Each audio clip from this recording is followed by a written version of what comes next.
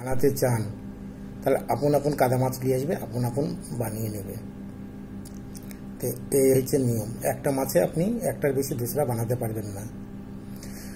তো যাই হোক, যতটা কাপড় তামার তাবিজ ঢুকবে ততটাই তামার তাবিজে ঢুকে মোম দিয়ে এঁটে দেবেন।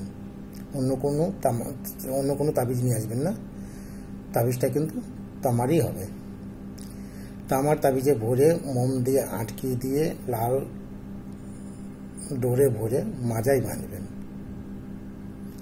তো মাজায় বাঁধার চব্বিশ ঘণ্টার মধ্যে দেখবেন রক্ত পড়ার যন্ত্রণা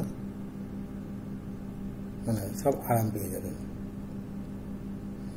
তো এটা তাবিজ পড়ার পর আপনারা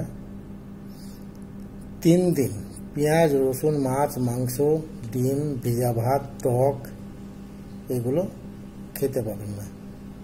তিন দিন। আর সারা জীবনকার জন্যে মানে ঝালটা খেতে পাবেন না। খাবেন কিন্তু অল্প, যতটা অল্প ঝাল দিয়ে মানে সবজি বানানো যায়, সেইভাবে বানিয়ে সবজি খাবে সে। অতিরিক্ত ঝাল খাবে না। এই হচ্ছে নিয়ম, বাকি আর অন্য কোনো নিয়ম নেই। তো এই তাবিজ বানিয়ে দেবেন, আর যাকে বানিয়ে দেবেন তাকে কোনো পয়সার দাবি করতে পারবেন না। সে নিজে ইচ্ছাই সন্তুষ্ট হয়ে যা দেবে সেটাই আপনি গ্রহণ করবেন।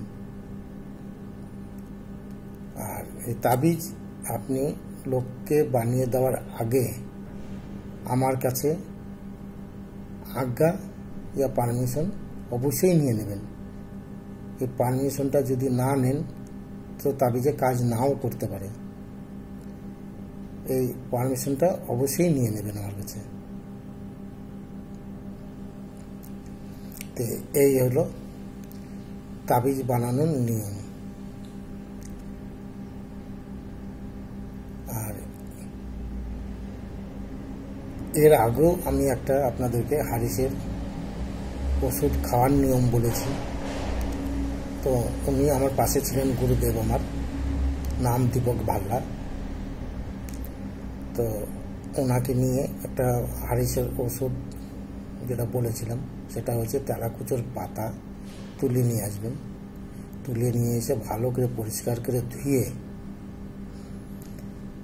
ওটাকে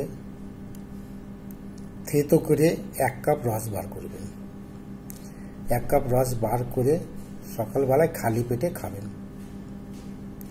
খেলে আপনি আরিসের রোগ ভালো উপকার পাবেন। তাতে কোনো সাইড এফেক্ট নাই, কোনো ক্ষতি নাই। এটা আপনি ভালো উপকার পাবেন। আগে আপনাকে আরও ভালো ভালো আমি ওষুধ দেব। তো আগের ভিডিওর জন্য আপনারা অপেক্ষা করবেন। আর ভালো কাজ পেলে বেল আইকনটা দাবিয়ে দিয়ে সাবস্ক্রাইব শেয়ার লাইক করবেন, যাতে আরও পাঁচটা লোক উপকার পায়। তো এই ছিল আজ আমার হারিস বা অর্শ বানানোর তাবিজ। তো আপনারা কাজ করুন, ভালো থাকুন, এটাই আমি আশা করি। আগের ভিডিওর জন্য আপনারা অপেক্ষা করুন।